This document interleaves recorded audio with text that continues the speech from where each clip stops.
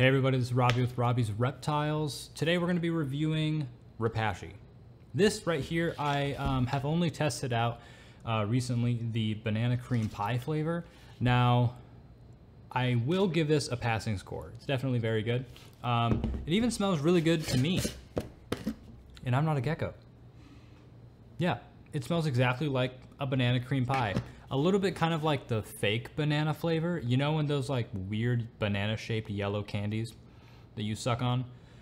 They kind of taste like fake banana. But uh, that's kind of what this smells like. Uh, I've even tasted it myself because I was, I was like, man, that smells so good. I wonder what that tastes like. It actually tastes just like it smells. Um, pretty good.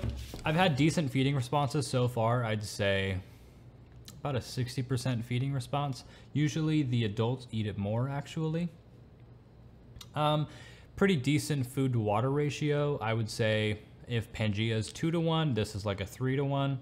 Uh, Repashy being, not Repashy, Lugarti being about a 37 to one.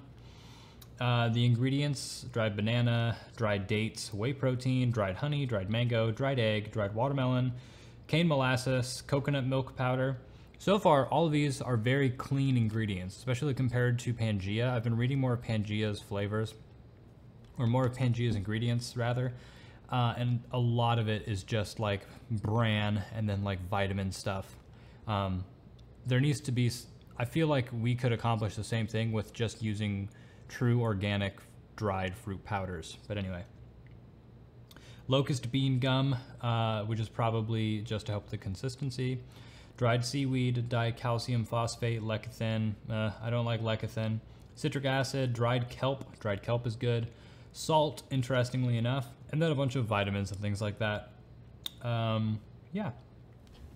It does have a low protein uh, amount, it looks like, but what I do is I will add in my whey protein or I'll add in dried egg white and then I'll still add a little bit of honey to it as well or even blend some bugs depending on what I'm feeling that day. Um, although I, I, will be making a video about this, I have completely switched all of my geckos from cow grass-fed organic whey to goat whey that is all pasture raised, grass fed, organic, everything like that. Goat whey just has a much better uh, absorption utilization, utilization and absorption than cow products because goat is superior in every way, uh, and it doesn't have thousands of years of of genetic modification and things. Uh, it's a long story, but anyway. So uh, yeah, I use this. I add some goat whey to it. Uh, pretty good, pretty good.